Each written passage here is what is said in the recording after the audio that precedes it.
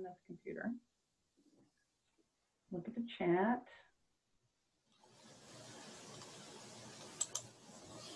Okay, just a reminder as people kind of check in, make sure that you go to the chat and enter your name so that I can make sure you're listed for your attendance.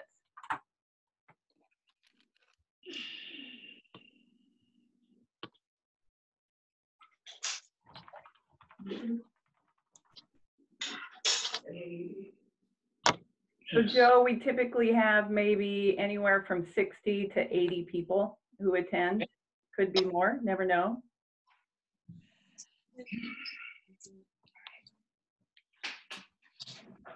We'll plug in right over. That one's probably the best one actually here, right? Sorry, just trying to make sure I'm plugged in so I don't die.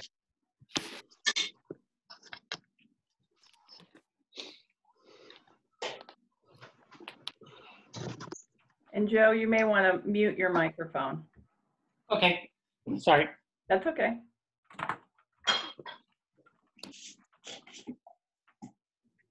Let me get my picture up there and get rid of you.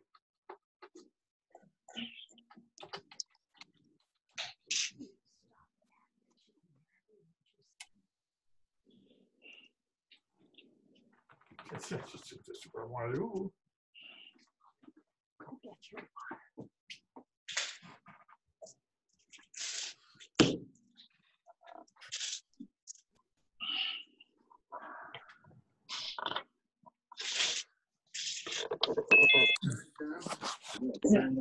I get, I, I'm, on- I'm on. Carlin, So- I'm going to mute your microphone, okay? I'm sorry, say it again. I'm going to mute your microphone, okay? Okay, all right.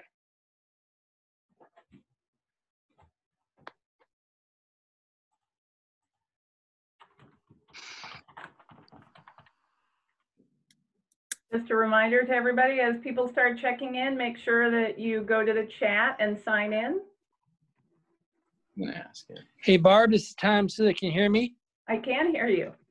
Okay, I'm part of the um, program today briefly, about one minute. Jim gave me one minute today, so I'll be, I'll unmute right now. I'll, I'll mute it right now. Got it. You know, you Thank you. might want to lower your, fi- your camera because all I see is like the top of your Yeah, head. yeah. Yeah, I'll try to look I cute think you have a beautiful ceiling, but I think it's so much nicer to see your face. Can you Can get you her see the me? link after work or something? She wants celery and grapes too. Rotary.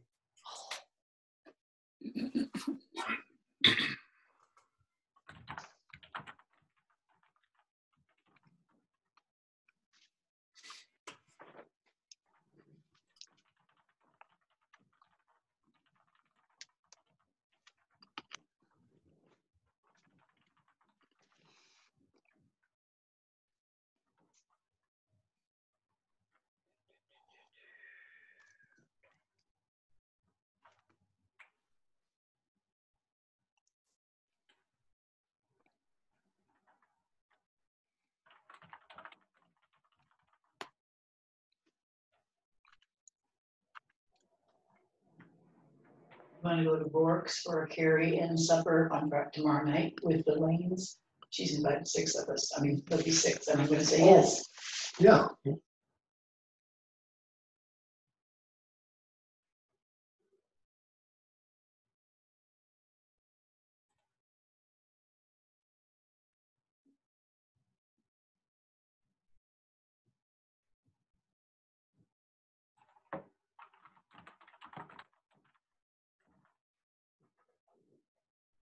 David Bywater, I'm glad you've got your dad Bill there.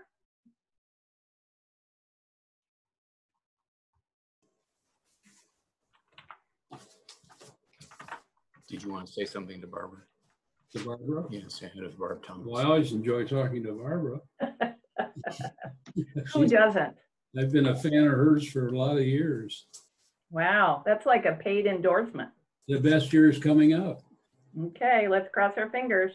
Yeah, Hopefully you'll get to see me in person, right? We'll be, we'll be fine. You bet. Looking forward to it. Yes. Okay. Barb, I'm on. Can you hear me? I can hear you, Jim, loud and clear. Wonderful. All right, thanks for running the show again this week. You bet. Ask if you're signed. In. Am I signed in, Barb? Uh, I've got you, Carlin. Okay. At the beginning of the meeting, as people enter, I try to keep track of it, but after a while, I can't. Oh, And since why don't you it's, get rid of your picture on top there if you want to? do Your, pho- our photograph up, there. can you do that? so are you seeing like a small U at the top or something? Yeah, small picture of me. Yeah, you know, pretty much you're always going to see a little pi- a little picture of you. Um, can you All right, that's fine.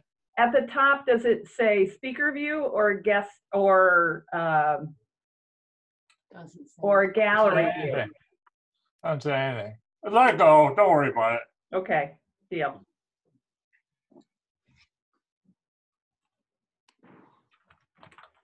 So About- again, a reminder for everybody, as you uh, enter in, if you could uh, sign into the chat, that would be great. Much appreciated.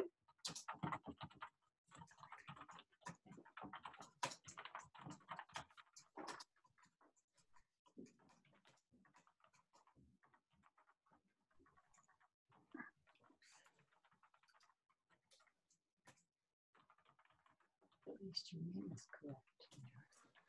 Mhm. Your name is right. Yeah, it is. Can you drink some? So important. So.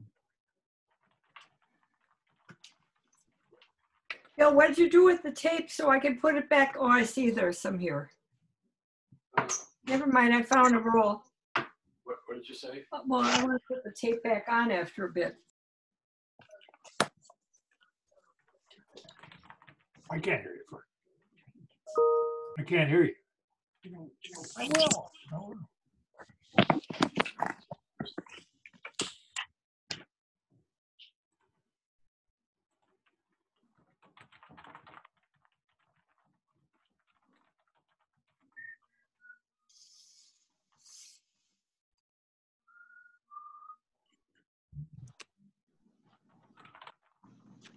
So welcome, everybody. Just a reminder, as you have logged in, please go to the chat box that you'll see at the bottom. Click on that and enter your name so that we know that you have attended. Thank you.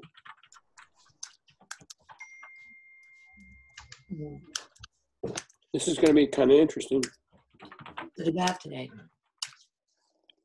About the making of the Nile Finnick, Kinnick movie. Oh, nice. Come in and listen.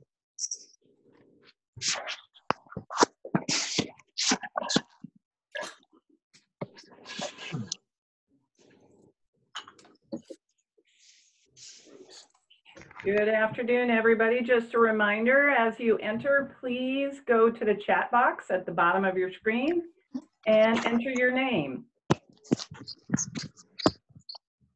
And if possible, please uh, mute your microphone. Thank you.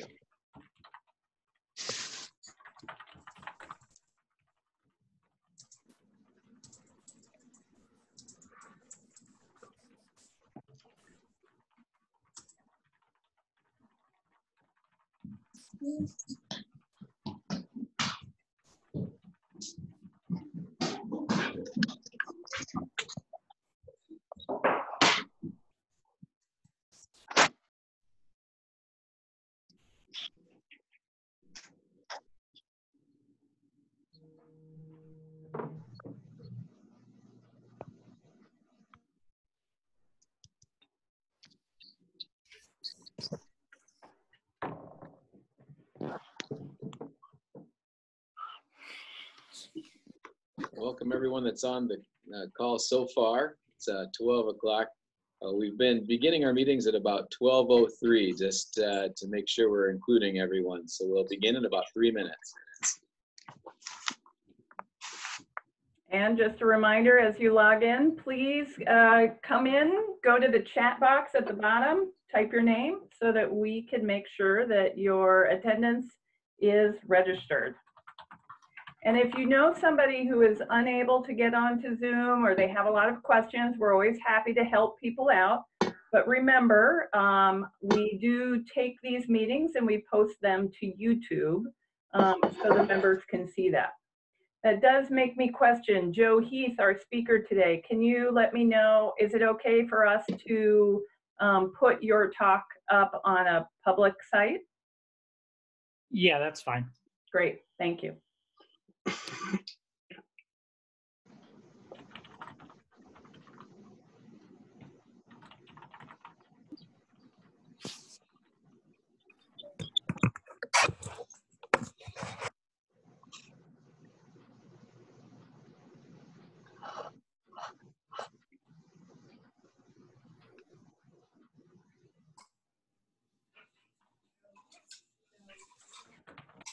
Again, welcome to everyone that's on so far. We're going to begin in about two minutes.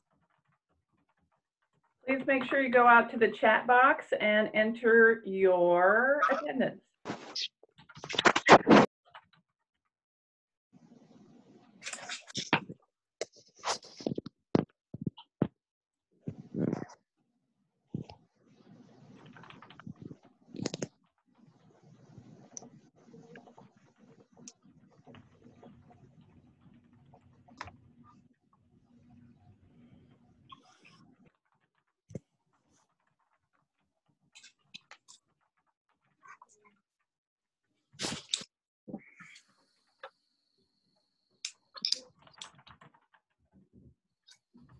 Could be a record day, Barb. I see we're getting up to 70 already. That's And great. Typically, uh, between about noon and 12:10, we get 20 or 25 more. So great to see numbers continuing to rise.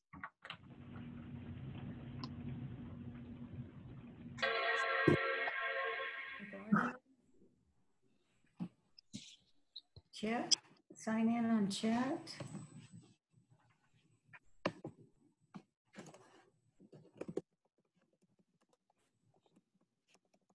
Just a reminder to everybody, please go to the chat box at the bottom and sign your name so that we know you're here. You can also like write a message to somebody in the chat box. Say hello. Tell us about your big news if you'd like to. Feel free to use it. Need more over so I can.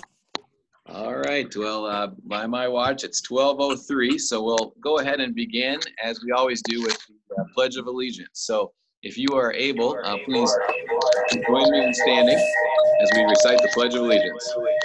I pledge allegiance to the flag, the flag, United States of America, to the republic for which it stands, nation, under God, visible, and justice for all. All. For all. Thank you.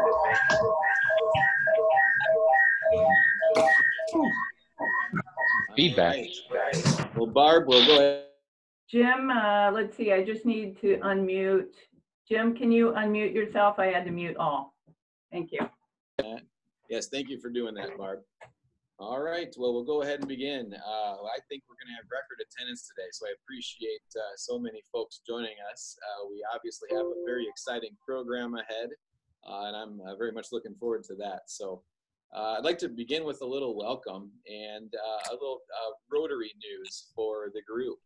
Uh, our Rotary Board uh, has a meeting coming up later this month, and we're going to be discussing a number of items. We already have been via email, but uh, this month uh, we're going to be uh, talking in depth about uh, member retention and outreach.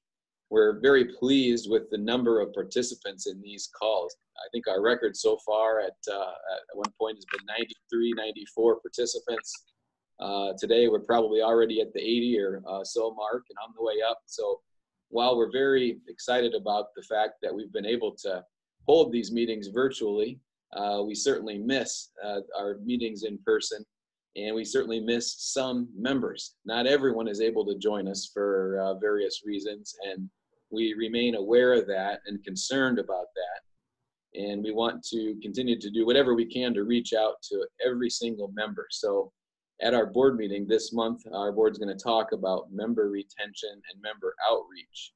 And if you, anyone, has input or ideas on ways that we as a group can include everyone and make every Rotarian that's in the Iowa City Noon Rotary Club uh, feel active and a part of our group, uh, by all means, reach out to any Rotary board member, myself or anyone, and we'd love to hear feedback from you. So uh, member engagement and retention is very, very important to us.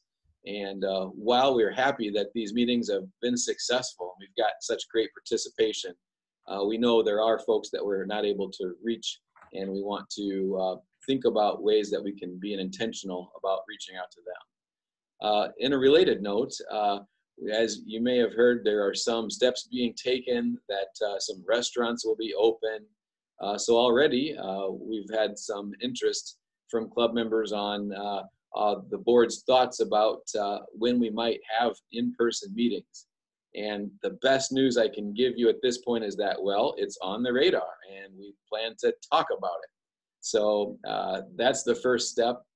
And there are certainly very, very many considerations uh, that will, uh, things that need to be taken into consideration before any such decisions can take place. And it's very, very early on in uh, the consideration of, of uh, these options. But uh, just want to let the, the full membership know that uh, the subject will be discussed again on our uh, board meeting on the 26th.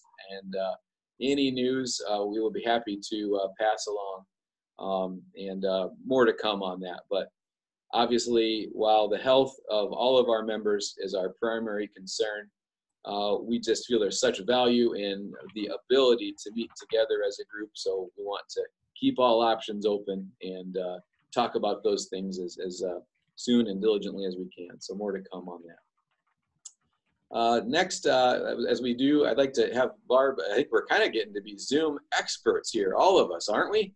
But I'm sure we don't know everything. So Barb, I'd like to turn it over to you to give us any Zoom tips you think we might need this week.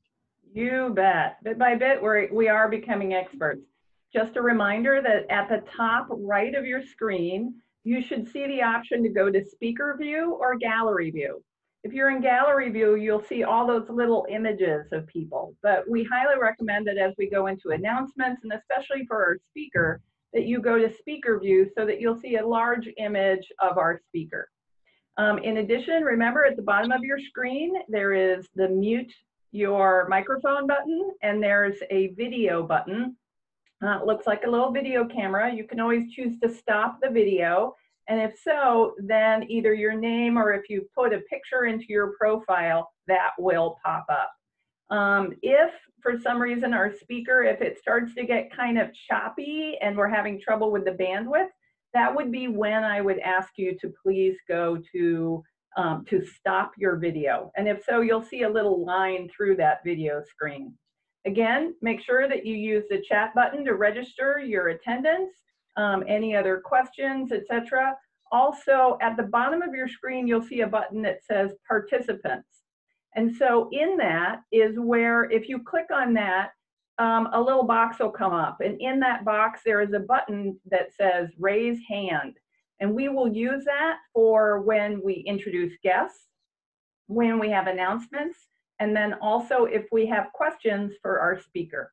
So I think that's it. Back to you, Jim. All right, thank you, Barb. Now, also in addition, this week uh, we did a group mute. Uh, sometimes with uh, you know climbing, I see we have uh, in the mid 80s now members joining already and climbing. Uh, sometimes there's some background noise that can interrupt the meeting. So Barb did a group mute. So if you have a, a, visitor, a visitor that you'd like to introduce or an announcement you'd like to make here shortly, the first thing you need to do is click unmute. So uh, that would be a red microphone icon at the bottom of your screen. So when you would like to speak, click unmute to make sure we can hear you. So uh, with that, we would like to uh, introduce our guests. So I, I, see on the participant list uh, a few names of, uh, of, folks that might be uh, joining us as guests. So uh, if you have a guest with you, or you are a guest, or you're a visiting Rotarian, please click unmute and uh, raise your hand. And uh, Barb will uh, call on you in the order that uh, she sees your, your name, your hand raised. Please just tell us your name and uh, where you're visiting from. Barb, do we have any hands raised? We do. First off, we have Tara Minetos. Hello, I have a special guest today. You're going to hear a little bit more about her in the announcement section. We have Olivia Baird, who is the recipient of the Rotarian Supporting Women Scholarship. Olivia wants to say hi real quick. Hi, I'm Olivia. Um, Great. Should I introduce myself or? You know, let's just do that. Let's turn it over to you. Tara, do you want to just say a couple more words about Olivia? And uh, then Olivia, let's, we might as well hear from you now. Uh, Tara, go ahead and do a little intro. Okay, um, as I said, she received our inaugural 2019 Rotarian Supporting Women Scholarship. She's an Iowa City native and she most impressed our committee with her commitment to service above self, balancing her academics, employment, um, exemplary community service, as well as her academics before attending the University of Iowa. Um, she's overcome some obstacles and she's a great candidate. You want to tell us a little more, Olivia? Cool. Uh, thank you, Tara. Yeah, um, hi, I'm Olivia. I am a freshman, almost sophomore at the University of Iowa, and I have one more final left, so that's why I said uh, almost. But um, this past year has been kind of crazy, obviously. Um, I've loved starting university. Um, my classes are super awesome. My professors are incredible people, and I'm just so excited to finally be within a professional um, field and like get more experience within like um, my preferred direction of life, um, which I want to go into the medical field, preferably um, pre PA. Um, so, physician's assistant. Sometimes people don't know what PA stands for, so I will specify. Um, and I did live in the dorms, but I don't live there right now, obviously, because they told us to go home. Um, so I am living with my boyfriend right now, and this scholarship has helped a lot because my family doesn't have enough money to um, help me go to college, and I need to also be responsible for myself. So I, in order to pay for college, I would probably have to be working 40-hour weeks um, on top of having a full schedule. So this scholarship has helped tremendously. I still work like 12, 15 hour weeks on top of my schoolwork, but um, no, the scholarship has it definitely helped me like ease stress and um, focus a lot more on my academics. Olivia, congratulations on the scholarship and uh, thanks for uh, joining us today. And uh, very importantly, good luck with your last final. Thank you. Thank you so much. Next, Tara, thanks. Yes, go ahead. next we have Hazel Seba. Uh, hello to everybody. I am uh, visiting Rotarian from the Iowa City AM Club. Nice to see everybody. Yes, thanks for visiting us. Appreciate it, Hazel. And next, Chris Atchison. Hi, uh, thank you, Barb. Uh, my guest is uh, Steve Wolf, uh, who recently uh, retired from the Department of Family Medicine at the University of Iowa. He's, of course, a family practitioner, former president of the Iowa Academy of Family Practice. Steve, are you there? Yes, I am. Uh, thank you very much. I really appreciate the opportunity to uh, view this presentation and learn more about Nile Kinnick, who I think we all view as probably one of Iowa's ultimate role models. So I'm excited to hear the presentation. Thank you, everyone. Great. Steve, thanks for joining us. Nice to see you. And I'll mention Steve's from Spencer, Iowa. So he's obviously a great guy. Welcome, Steve. yeah, thank you very much. You bet. Uh, Barb, uh, do we have other names? Uh, we do not. No more guests. All right. All right. Uh, is there anyone that would like? Yeah, go ahead. Oh, Hold on a minute. I think, is that Ryan? Yeah, I I tried to raise my hand. I think I gave a thumbs up instead. So sorry. um, I've got two guests, both big Hawkeye fans and both uh, familiar to our club as they've been guests a couple times now. But I've got Alyssa uh, Brandt Jarrett, who uh, is with Brandt Heating and Air Conditioning. And I've got uh, Bill Easton, who runs uh, Easton Design, a website development and design firm. So welcome, guys. I know they're both looking forward to the program as well. Thanks. Great. Thank you, Ryan. And I'll give you two thumbs up for inviting guests. Appreciate that. I welcome, Alyssa and Bill. I actually do have two more hands. I have Phil has his hand up. Phil? Hi, visiting Rotarian Phil Peterson from the Iowa City AM Club. So happy to join you guys, and uh, you continue to do a great job with the Zoom meetings. So thanks for inviting me. Yes, Phil, and thanks for all your uh, leadership too of ICARP. Uh, for those that aren't familiar, ICARP's the Iowa City Area Rotary Presidents. Uh, that group's become uh, more and more uh, important to us as uh, it's great for the Rotary clubs in our area to talk about uh, all of these unique challenges we're facing and how we can work together in new ways or how we can share ideas on the best ways to move forward. But Phil, thanks for all your work uh, for Rotary and for ICAR. And we do have one more. Uh, we have one more guest, uh, Anna Moyer Stone, with an exclamation point. Anna is going to introduce a guest. Um, hi, with me I have uh, my constant companion and my daughter Sylvia, and we are both wearing our Hawkeye gear today.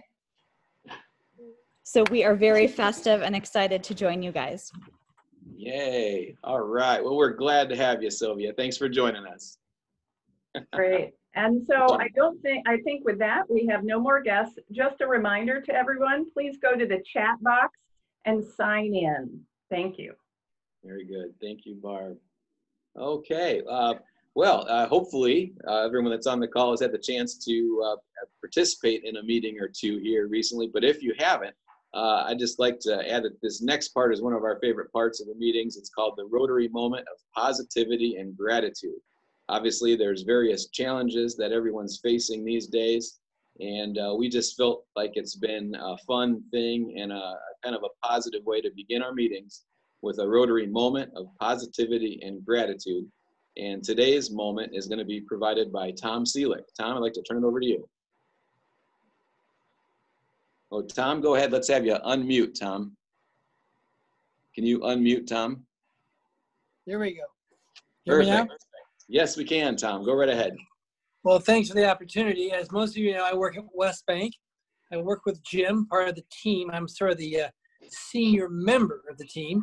And um, so as the senior members, occasionally I share my, my wisdom from my old age, and we call this tips from Tom. So today I'm give you tips from Tom. It's, it's got a little bit of a football theme. I'm a, I'm a fan of Chris Doyle, who is the Iowa football strength and conditioning coach. And I follow Chris on Twitter, and he is uh, has a lot of thoughtful things to say. And uh, so today I'm going to share with you one of his Twitter posts. These are the um, nine things to do for those who are aiming for excellence. So it's a list of nine things. I'll list them one by one by one. Number one, wake up with purpose. Number two, become a lifelong learner. Number three, love the process. Number four, take failure as learning. Number five, do the extra work. Number six, have a game plan to each day. Number seven, don't entertain drama. Number eight, be optimistic and driven. And number nine, stay disciplined. So I think one of the secrets of a successful Iowa football is uh, is really Chris is uh, working with the student athletes both in conditioning and in their mental preparation. Thanks, Jim. Well, thank you, Tom. Uh, great advice there. Uh, really appreciate your tie in with Iowa football. And uh, as everyone on the phone call can imagine, uh, it's a pleasure working with Tom every day. And uh, these tips are always very helpful. So thank you, Tom. We appreciate it. Uh, next, I'd like to get into announcements. I'd like to start, first of all, if we can today, with an update from United Way. Tricia, do we have you on, Tricia, or Katie? I am on. It's Trish. Great, Trish. Um, happy to share what's what's the latest and the greatest. Um, we did our second round of food donations this last um, Monday with Shelter House. So the Coralville Marriott Convention Center prepared 75 individually packed lunch meals. Uh, they included, and you're going to get some pictures here just so you know. I think uh, Barb's sharing her screens, but they included in those boxes there that are marked square uh, a wrap, um, which could be a turkey wrap or a ham wrap or even a vegetarian option, as well as an apple and chips um, and a couple more little items in there. And we were graced with the presence of Craig Sundell. He's the gentleman up in the truck there. Uh, he's the general manager of the Marriott, and then Molly Horton, who oversees events and sales. Uh, both came over and helped unload along with the shelter staff who loaded uh, into their facility. And so they were very, very excited to receive this donation from Rotary. And we were very, very proud to be the vehicle to help with that donation. So another successful meal distribution. Uh, we have a few more to come. In fact, our last one will be the first week in June. So we're really looking forward to continuing these each week and spreading some, you know, Rotarian good cheer to a lot of people who are doing a lot of good things, as well as a lot of people who are very vulnerable in our community. Other updates to share. Um, uh, we will be starting a Mask Up program with United Way. We have a donor from the Community Foundation who has established a name fund, and they're going to be providing all of the supplies to make mask kits. And so by appointment, you'll be able to stop by United Way and pick up a kit of 10 to make 10 masks, um, and then return those masks when completed, and we'll be distributing them out to the nonprofit community. As you can imagine, like many businesses in our community, they are struggling to have enough PPE equipment for their employees. And so we're doing our best to connect people to that effort and to be able to support them to be safe. So that's something that's going to be coming up soon. Um, and then just finally, uh, just a quick announcement for our daily weekday emails that we have been sending out since March 16th. We will be pivoting those to a once a week email. So those will be going out on Tuesdays. And we'll be doing that for the next couple of oh, two or three weeks and then make an assessment as to where we need to go from there. And these emails that'll be once a week will be really focusing on making sure anybody who is reopening businesses or having community involvement in any way, shape, or form has the proper information they need to be safe and healthy. With that, I'll turn it back over to you, Jim. Great. Thanks for the update, Trish. Appreciate all that you do. Um, uh, Barb, do you have any other announcements? Uh, as of right now, we don't. Just a reminder, if people have an announcement, you can go to the participant button and click on raise your hand. You can send me a private message or you can just speak. Yeah, I'll just open it up for a minute. Does anyone, uh, did we miss anyone? Anybody have an announcement or a guest that we missed before we get into our program? Okay, seeing none. Uh, very excited to transition into our program here. Uh, we've got uh, 30, 35 minutes. Ideally, uh, we will be able to allow time for questions. Uh, obviously, there's going to be a lot of interest in today's program, so hopefully uh, by about 1245 or 1250, we'll be able to open up the floor to questions. So again, we'll just have people uh, raise their hand virtually uh, at the bottom of the screen uh, if you have a question at the end of the, of the program. So for our introduction of our uh, speaker today, I'll turn it over to Madeline Windauer. Madeline? Thank you, President Jim. Um, Barb, can you tell me if you can hear me okay? I can hear you. Great. Um, if you have not already toggled to speaker view at the upper right of your screen, you might want to do that now. Uh, our speaker today is Joe Heath, producer of the upcoming feature film Iron Men, the story of Nile Kinnick and the famed 1939 Iron Men team. Born and raised in Iowa City, Joe got his start in entertainment, working as an actor and a model, commuting to Minneapolis and Chicago. In the fall of 2006, he moved to LA to pursue a career in film after spending the summer on the set of the final season. He learned firsthand what it takes to make a movie, working his way up from a production assistant. Since returning to Iowa City in 2010, he has helped produce and crew several independent films, short films, and commercials while developing projects of his own. Most recently, associate producing The Quarry, starring Michael Shannon and Shea Whigham in theaters April 17th, and executive producing Masquerade, starring Bella Thorne, Olivia Allen, and Austin Nichols, with an expected 2020 release date. Please join me in welcoming Joe Heath.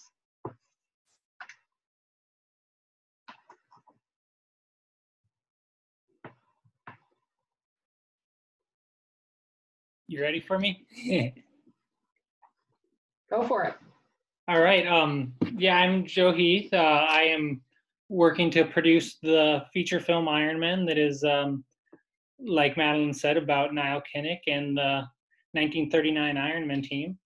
Um, it's been a long journey uh, to get to this point, and um, we still have a long way to go. So I guess um, I plan on just kind of telling you where we started and where we've come and where we plan to go down the road. Um, as Madeline said, I uh, I started working in film. It was always a dream of mine, and I, I started working in film and doing what I could uh, here locally and in the Midwest. And um, and then when the movie, the final season, came to Norway and Cedar Rapids to film the story of the Norway baseball team.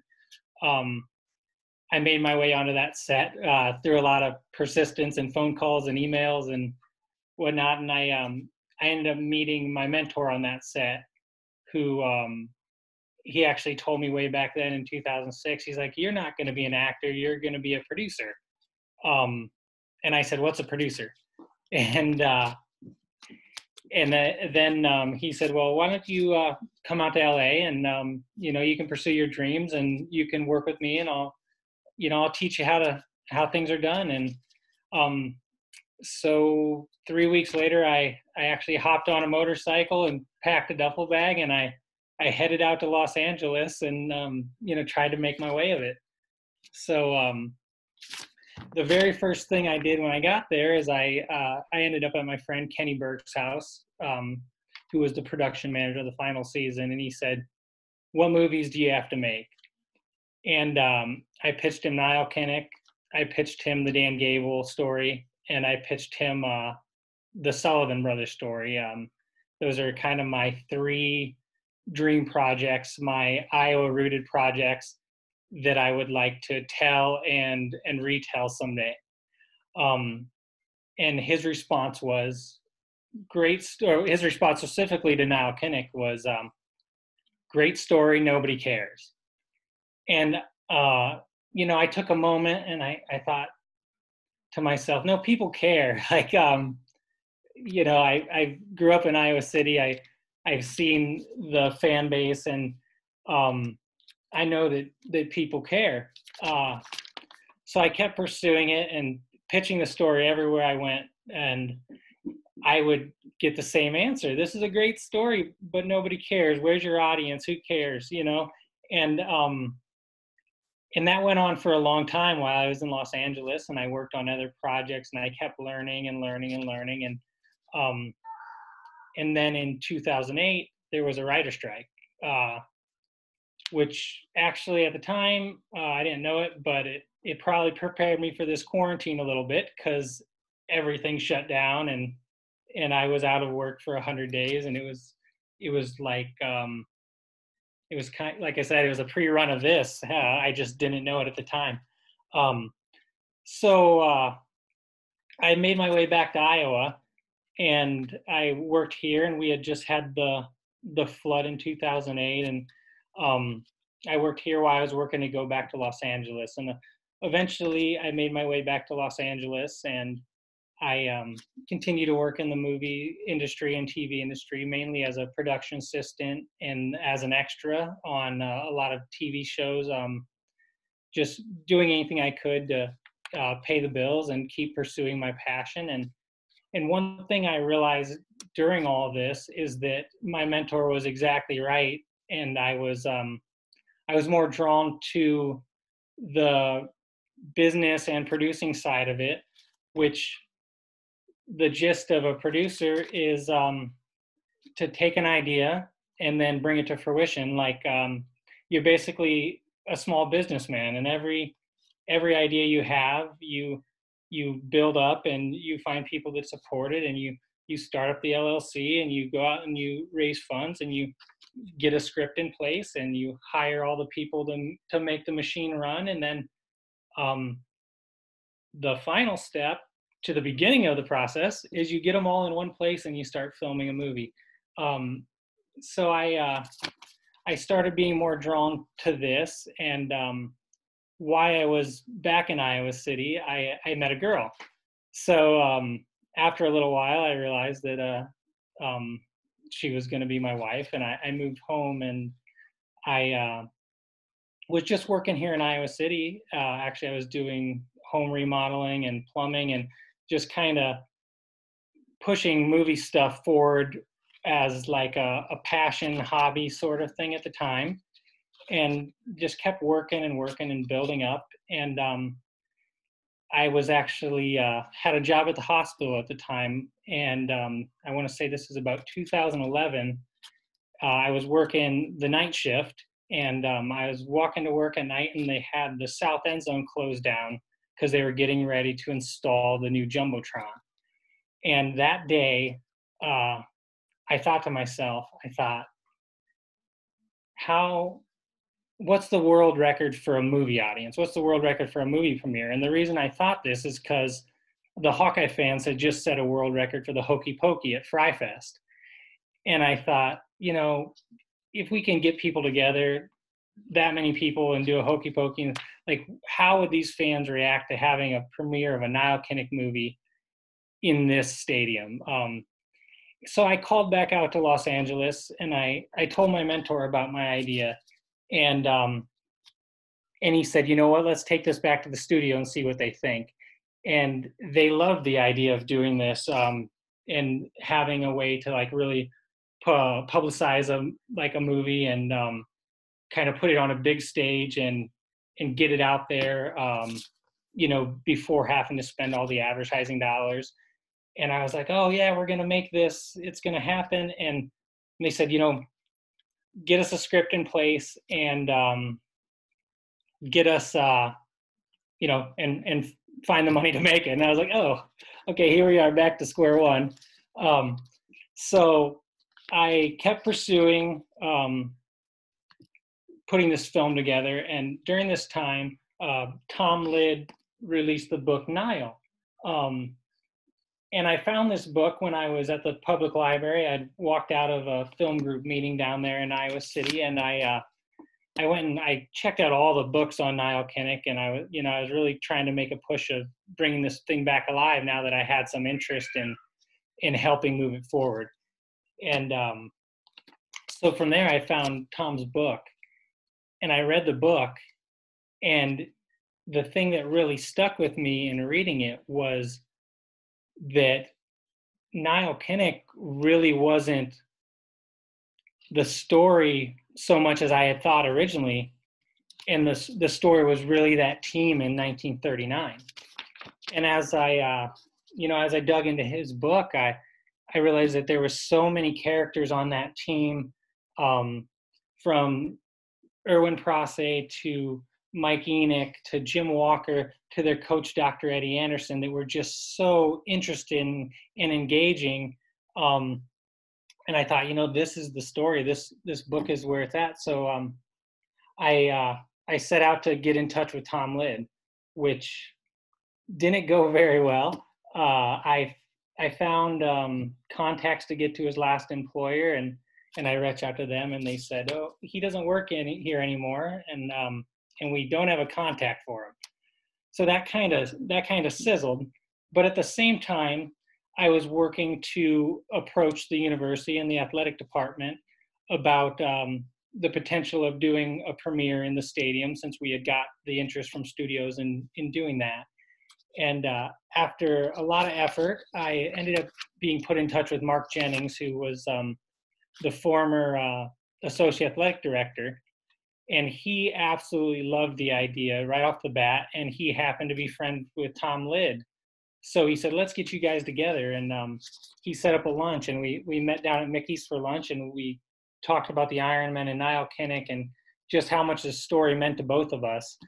And uh, and i said you know would would you be able to you know give me a handshake option on your book and I'll, I'll put a script together and we'll try to move this thing forward and he was all for for it. So um, so I I dug into the process of writing the first draft, and I basically just took his book and I um, broke down every scene and put it into screenplay format. And um, after this is a long process, so after several months of work on this and getting it together, I I went back to Tom and and um, I said, "Hey, I got a first draft." I said, "The only problem is I I need to cut it in half. It's about 120 pages too long. And he said, Can I read it? And I said, Of course you can. Um, and he he picked it up and he he read through it, which uh, was, you know, looking back, probably a very tedious task at the time because it was very unpolished. And he said, Joe, this is this is my book. This is dead on my book. And I said, exactly what it is is your book. And I, I said, now we just gotta one thing that's very important to me in telling the story is we gotta we got to cut the fiction out of your book. Um, I said this is a story that's worth telling, and it's worth telling honestly because because it's there already. So um, we went back through and some of the stuff he did in the book were just very simple things like having freshmen play their freshman year because um, just the characters like Al Couppee were so compelling that he just wanted to get them in there sooner. Um, so we went back and and reworked it all, and we ended up bouncing the script back uh, back and forth for it was probably a year and a half, two years um, before we finally had, you know, probably the hundredth draft, but what we called our first draft. And I uh, I marched it into the athletic department and I, I gave it to the secretary and I said I I want to get this to Mark Jennings. Um, he's aware of this project and I just wanted to let him know we're moving it forward and and he called me up and he was so excited, you know, that we had a script and Prosty said, Oh, I thought this thing had died. And I said, No, it just, you know, it takes a lot of work to move these things forward. So now that we had a script, um, you know, it was time to start building the business and and we opened up an LLC and then, you know, went out and um, we were able to, you know, do what I'm doing now and just go out and speak at different events and to different clubs and you know tell people what we had going on. And we were able to gain some interest in in the project and in the vision of what we were trying to do. And um, from that we uh, we've just been working and working and we um, been reaching out to through the iowa network and through um, people in the industry with iowa ties and just by doing stuff like this like i said to just spread the word and spread the word and spread the word um, until eventually we got put in touch with Nicholas Meyer, who is a famed U of I alumni from the Writers Workshop and an Oscar nominated um, writer for his uh, adaptation of Time After Time, which is one of his many Sherlock Holmes novels. I, I believe he just released his 48th Sherlock Holmes novel last fall. Um, and uh, uh, I was able to go out to Los Angeles for um, an Iowa filmmaker meetup, and while I was out there, Nick agreed to meet with me, and so I I headed over to Nick's house, and you know we sat down with a coffee, and and he uh, he said, "I heard you want me to write a football movie," and I said, "Well, rewrite," and yes, and he he looked me dead in the eyes, and he said, "Are you crazy?" he said, The only thing I know about football is I like to attend games and I like to have a hot dog and a beer. And I said, Well, Nick, um, my thinking is that we already have the football in place and there's not much that you have to do with that because that story is already written. What we're looking to do is to have you come in and just polish the story and build the characters and um, you know just make it a cohesive movie. Um, this is a very important figure in the state of Iowa, and like was mentioned before, he's probably one of the all-time role models.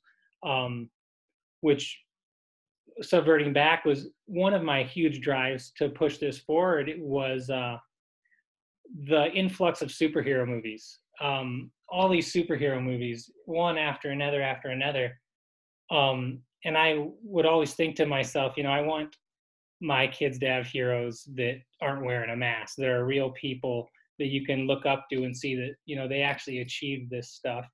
And Nile Kinnick, um, you know, he was really a man before his time, and he was a man that I think one of his greatest attributes was uh, his selflessness and his ability and passion to just show up for everybody in his circle, for everyone in his in his community, his family, his teammates. Um, during his time at the University of Iowa, he was the class president his senior year. He was the head of the Pum- Young Republicans. He did all his uh, all the things he did on the football field, and um, you know he was a man that had a lot of offers on the table, but in the end, he really wanted to go to law school and follow in his grandfather's footsteps and and go into politics and and help make the world a better place. And I and I thought, you know, these are the messages and heroes that I want my kids to look up to, and and if uh, you know if I can help to tell one of these stories, I'm gonna. So Nick uh, Nick picked up the script and he um, he said, "Look, I'll give it a read, and I'll tell you what I think." And I, I said, "Oh, that'd be amazing," you know. Um, and he said, "Well, you know, don't plan on hearing anything soon." Uh, so I I said, you know, that's you know that's fine. And uh, lo and behold, um, a couple weeks later, I got an email from him, and he said, "Oh man, I read through this thing, and this is great. This is a great all-American story. Um, this is my meat and potatoes, and I I really think I could do something with this script." And I said, "Well, would you be interested in write doing a rewrite and directing it?" And he said, "You know." I'll do the rewrite, but I, I don't think I'm your guy to direct it. Um, so it went back to him, and um, and uh, and we had the offer on the table, and I I took it back to some people that had invested in the project and um, said, hey, uh, how do you feel about us spending a whole bunch of money to uh, bring in this amazing writer and and you know do this story justice? Because as that was always the plan was to do everything we can to not only tell this story but tell it in the best possible way. Because we we knew that you know you only get one chance to do something like this and we we really wanted to do it right. So so they said heck yeah do it. Um you know that that money's just sitting in an account and it's sitting there for for you to use to do the best you can to move this forward. So we went back to to nick and um and he had given me notes on it and like i said all his notes were just right in the realm of the things i was thinking but um at the same time i i wanted to hear those same thoughts and notes from somebody that we were going to entrust in in really telling the final version of this story um so nick took it and um he uh once again um came back extremely fast with a with a rough draft. We actually um, two years ago at Fry Fest, um, I was sitting in a booth telling everybody about what we're trying to do, and while I was sitting in that booth, I was exchanging emails with Nick Myers, trying to finalize a deal to bring him on as a writer, and we we were able to get it done that day. And um, right after uh, Bob Stoops got done talking up on the podium, we were able to announce that we just hired Nicholas Meyer to come on and write our script. And um, sure enough, uh, November 3rd, he sends me a first draft, which was kind of scary be- because it it triggered uh, another large payment in the process, and it it had come back so quick that I was very nervous upon reading it.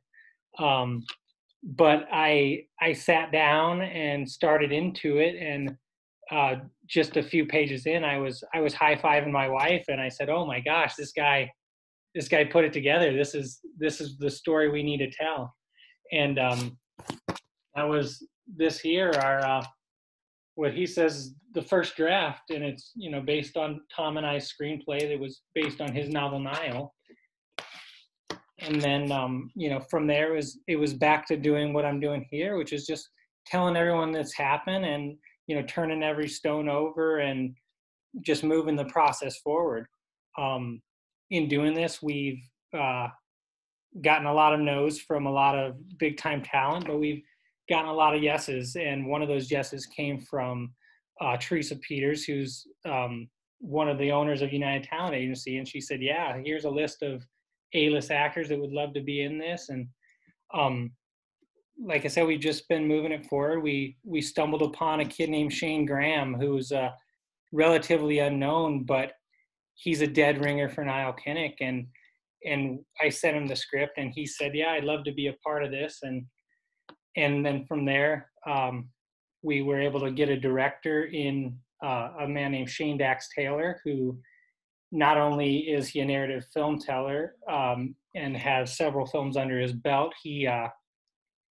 he was um, hired out of college to produce for ESPN. So he spent 15 years before he went into film producing football games and basketball games, including several Hawkeye games. And, and he was aware of the fan base and just what we were doing.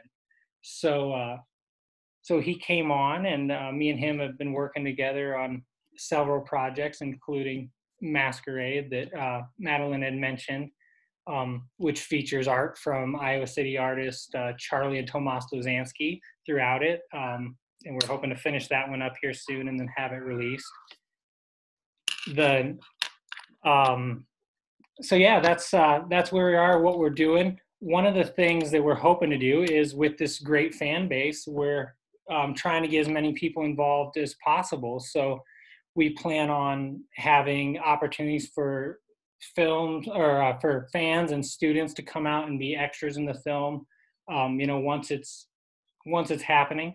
Um, right now, with the situation going on in the world, uh, the picture's foggy as to when that's happening again uh, and when it will happen. As we uh, we have so many people in a small confine when we're when we're starting to make a movie that um, we you know we just got to wait and see what the what the health and safety issues of that are going to look like before we move forward but our plan is to eventually um, get the movie into production and we're going to film here on campus to do our crowd scenes our pep rally scenes and uh, the idea is to eventually shoot the final scene on campus uh, pep rally scene and then have a little bit of a fireworks show. And um, uh, we're working with the downtown district and our goal is to have a, a citywide wrap party kind of like they do with the downtown block party and just make a whole thing of it. Um,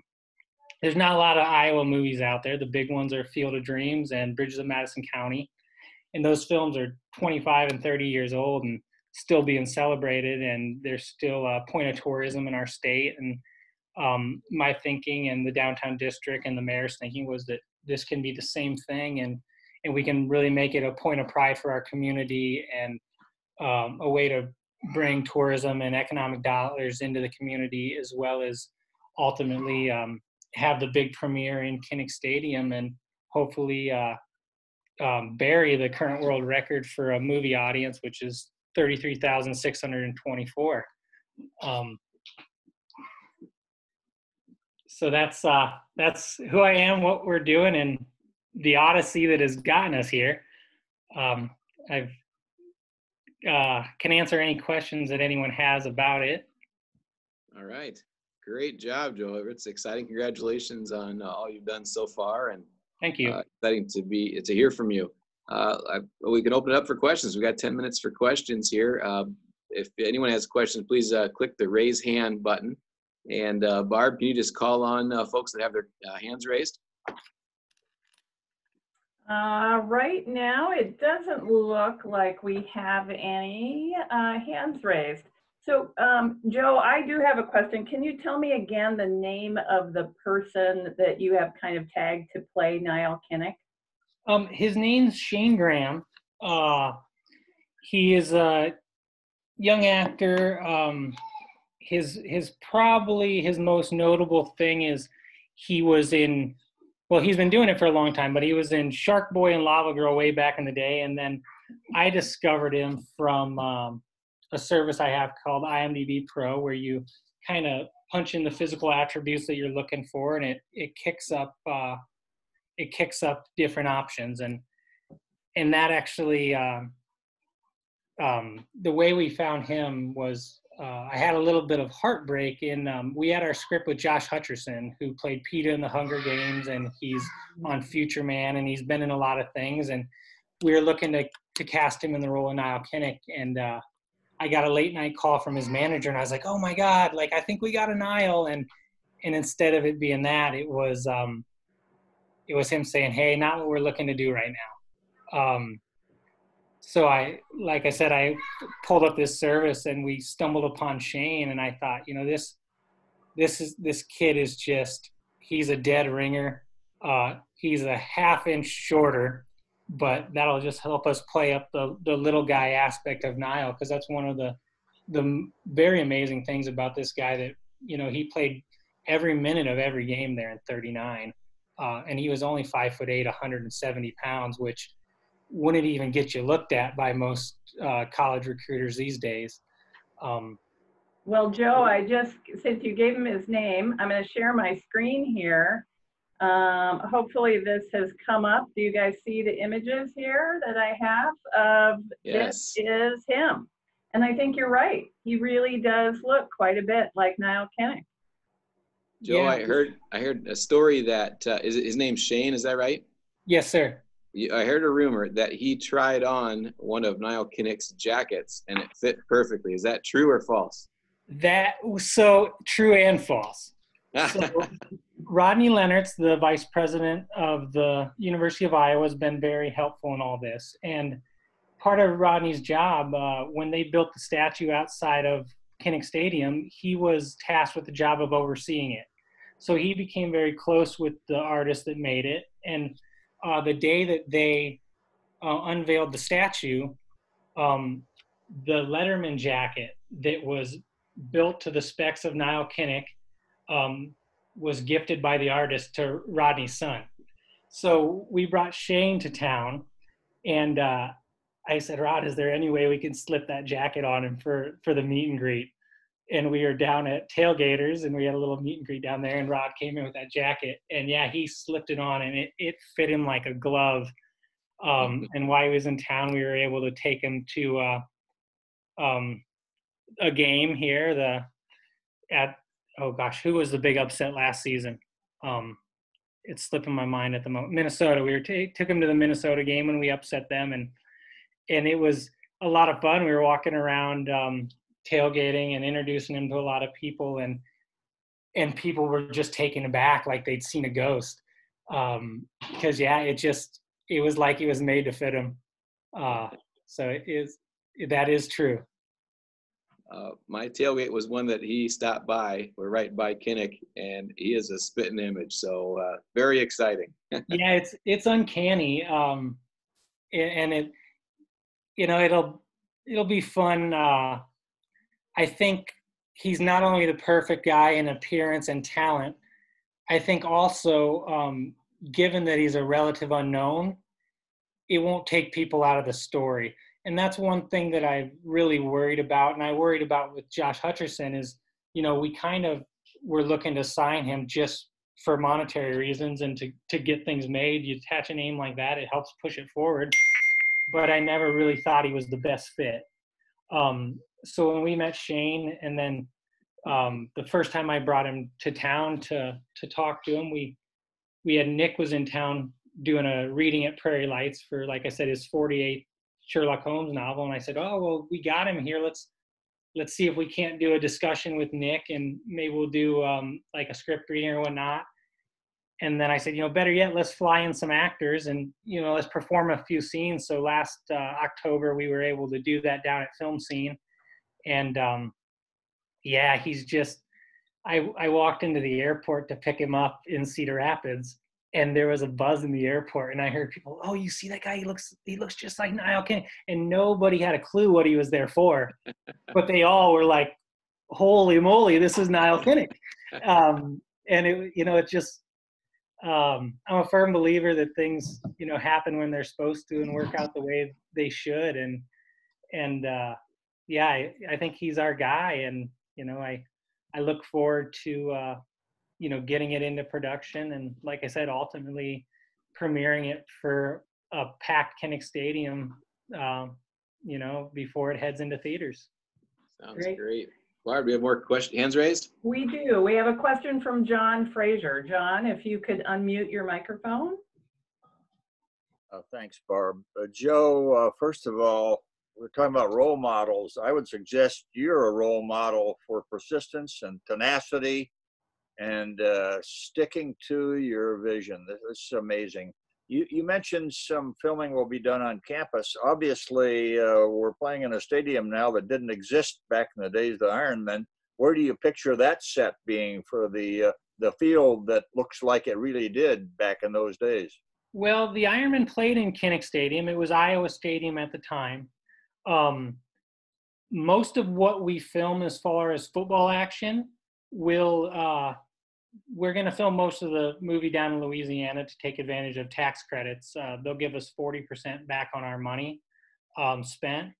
So basically, what we're going to be able to do is shoot a $22 million movie for $15 million by filming most of it down there. So most of the football will be shot on a sod farm, I presume, and we'll put shipping containers out and we'll wrap them in green screen and we'll build in the background afterwards. um, a lot of the Kinnick Stadium that does exist, we can still shoot. Uh, the east side, especially, we can use a lot of it. And then um, the stands, once they're full of people in period garb, we can shoot it to make it look like it did back then. Okay, it looks like we have another question from Steve Bowers.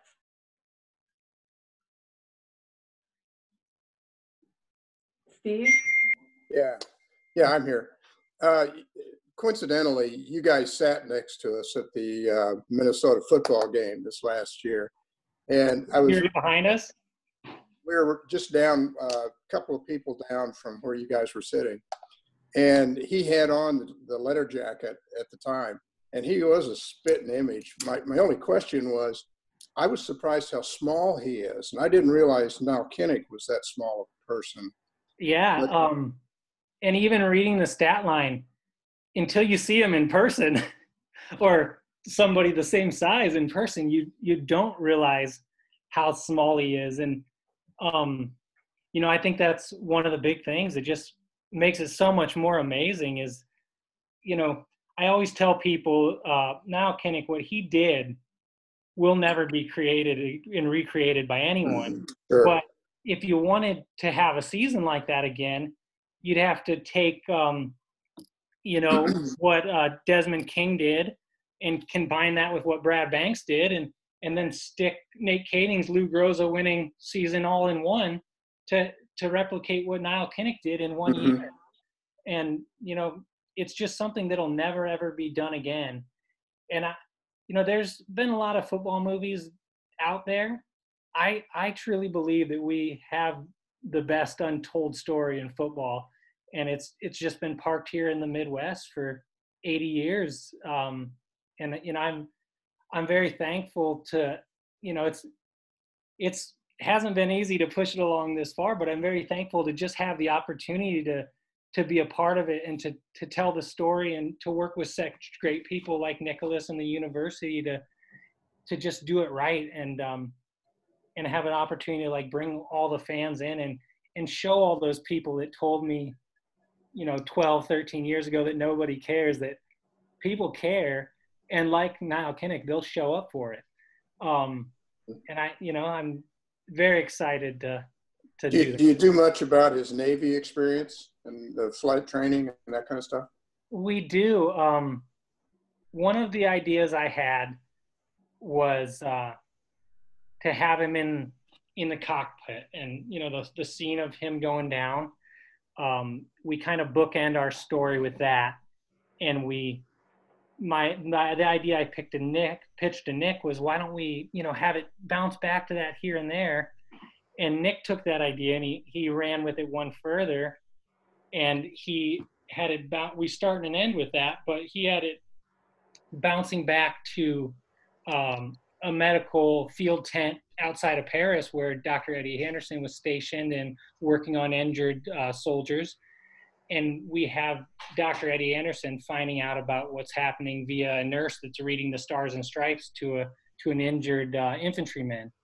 And um, so the story is told from the viewpoint of Dr. Eddie Anderson, who, like I mentioned, um, this is a guy that it once again like people like this just don't exist anymore. He was a practicing medical doctor and a college football coach. Yeah. Um, and it's just you know like the time that he must have put in to move these endeavors forward. It's just uh, it's just insane. But yeah, we touch on his medical on his military career. Um, we touch on the fact you know that he walked away from so many things. He finished law school third in his class his first year, and before they started drafting people, he said, "I'm signing up."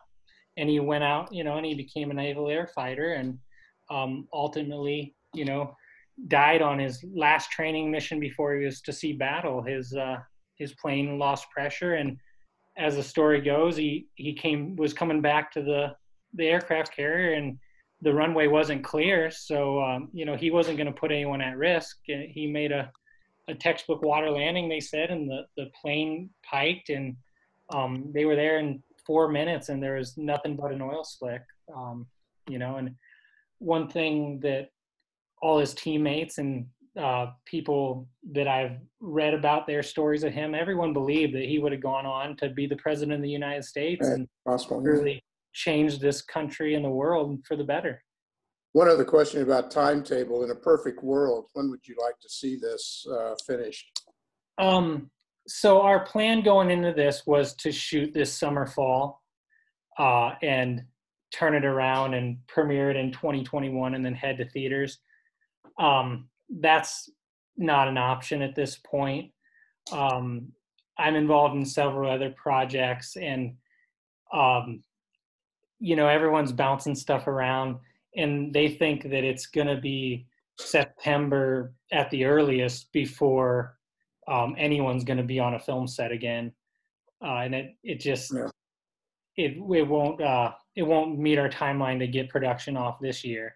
Um, so we're hoping next summer fall you know, to get back into you know um, like so many people right now we're just we're just kind of at the whim of uh, what's happening with the world and we're we're waiting it out and just trying to keep moving it forward in the meantime and uh, you know keep trying to keep adding to our cast and um, our crew and and just building our team because uh, filmmaking is really a team sport uh, and you know it so yeah i don't have a set timeline but you know i'd like to get it off uh, next summer and hopefully you know really i think at that point um, the world and our community will, will really just embrace being together and being able to celebrate things as a community and being a part of things again. So like i said i i believe everything falls into place when it should. And and uh, one thing i've learned through the process is uh, trying to rush anything just slows it down. So um, my job as a producer and moving it forward is basically just to uh, keep working as hard as I can to get the right pieces lined up and and you know let it come through as as it should. Um, the only thing that I'll be rushing is once we get into production. Every day it's a rush to make sure you get stuff done because, like anything, you have a limited time and a limited budget and and my number one job as a producer once we're in production is to make sure we stay on time and on budget. Joe, great job. Uh, very exciting. I think uh, uh, boy, we had 100 people watching you at one time here, so you've got at least 100 more fans today that are looking forward to hearing more about this. So thanks so much and great job. And Yeah, uh, we appreciate your time. You bet. Well, we always end our meetings with the uh, reciting of the four-way test. So, uh, of the things we think, say, or do, is it the truth? Is it fair to all concerned? Will it build goodwill and build better friendships? Will it be beneficial to all concerned? Thanks, everyone, and our meeting's adjourned.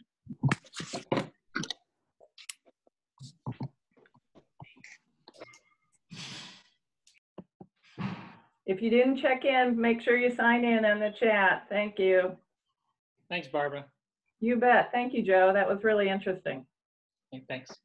Barb, thank you. That was a really, really great program. Loved it. It was. Thanks to Devin, our program coordinator, and Madeline, who introduced and probably brought this idea forward. So really appreciate it. Yeah, thank you. I did just get, uh, for those of you still on, um, I got an interesting email from one of our members. Let me see if I can share it. It actually has a side by side of, um, can you see it?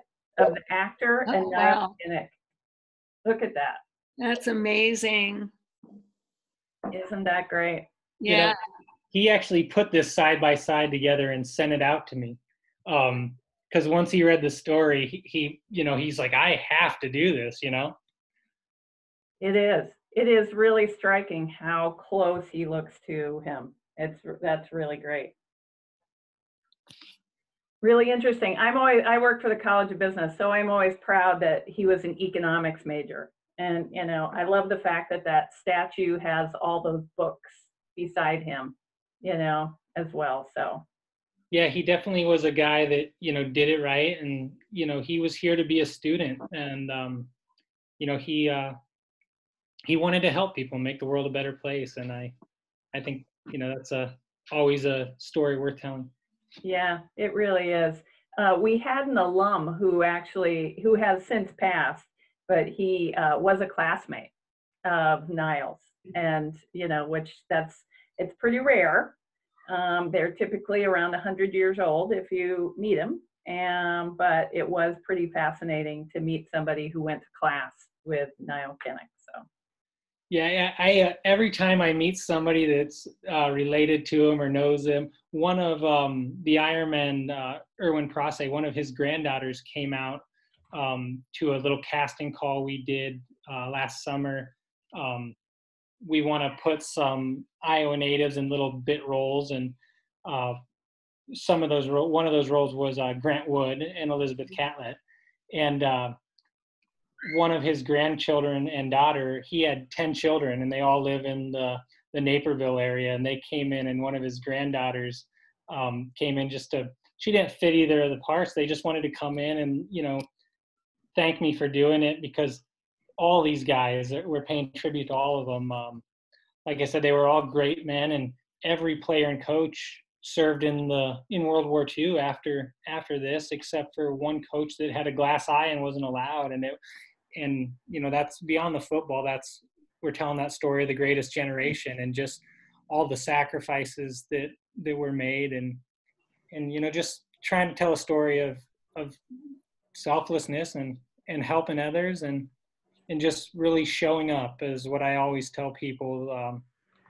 there's a scene in the movie where um, Dr. Eddie Anderson is meeting all the players and and he says, "Nile, you're not very big. You're not very fast. What do you do?" And he said, "I show up." And and it's right there. That's you know kind of our tagline and and um, the heart of the story is is just being there for for everyone that you have the opportunity to be there for. that's great. Awesome. Well, thanks so much for coming and telling your story to our club. All right. Thank you so much, Barbara. You bet. Have a great day. You too. Thanks, everybody. Hope you have a great day. Goodbye, Barb. Bye, Bernie. Want to yourself?